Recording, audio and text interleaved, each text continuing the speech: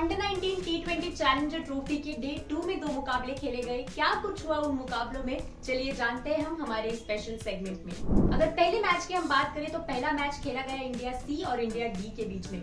Toss जीतकर India D ने सबसे पहले गेंदबाजी करने का फैसला लिया और 110 रनों पे उन्होंने इंडिया सी को रोका। पर वो टारगेट चेज नहीं कर पाई इंडिया डी जिसके चलते उन्होंने 11 रन से इस मैच में जो है वो हार का सामना किया। फ़र्स्ट इनिंग्स की हम बात करते हैं। गोलगड़ी त्रिशा और अर्चना देवी ने अच्छा प्रदर्शन दिखाया। बल्ले से इस मैच में और नाजला ने तीन विकेट छटकाए वहाँ पे इंडिया डी के लिए। पर चेस करते हुए हमने देखा कि इंडिया डी की बैटिंग यूनिट ने फिर एक बार वहाँ पे थोड़ा स्ट्रगल किया।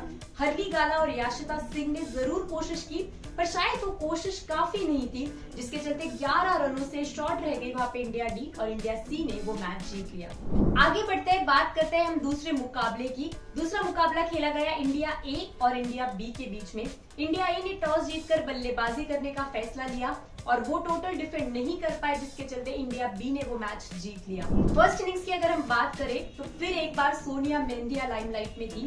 पिछले मैच में उन्होंने अच्छा प्रदर्शन दिखाया था गेंद और बल्ले दोनों के साथ, और इस मैच में भी बल्ले के साथ वो चमकी। हाईएस्ट रन गेटर रही वो टीम के लिए। पर फिर अगर हम सेकेंड इनिंग्स की ओर बढ़े तो इंडिया बी से हमने वहाँ पे देखा कि श्वेता सेरावत से फिर एक बार अच्छा प्रदर्शन आया बल्ले से, जिसके चलते टीम ने वो टारगेट चेस करके इस मैच में तीन विकेटों से जो है वो जीत हासिल की। हम फिर एक बार इन टीमों को देखेंगे, एक दूसरे का सामना करते हुए पाँच नवंबर को और सात नवंबर को खेला जाएगा इस टूर्नामेंट का फाइनल्स उन सारे अपडेट्स के साथ भी हम आपके साथ जुड़ जाएँगे और उसके लिए आपको जुड़े रहना होगा विमेन्स क्रिक जोन के साथ।